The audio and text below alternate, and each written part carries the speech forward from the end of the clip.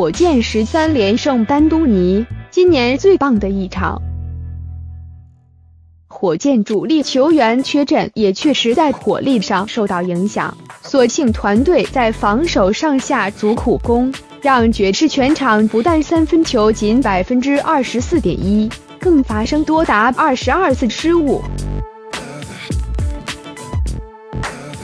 最终在 James Garden 全场二十六分、十一篮板、五助攻，以及 Chris Paul 的十五分、六篮板。六主攻率领下，依旧赢得胜利。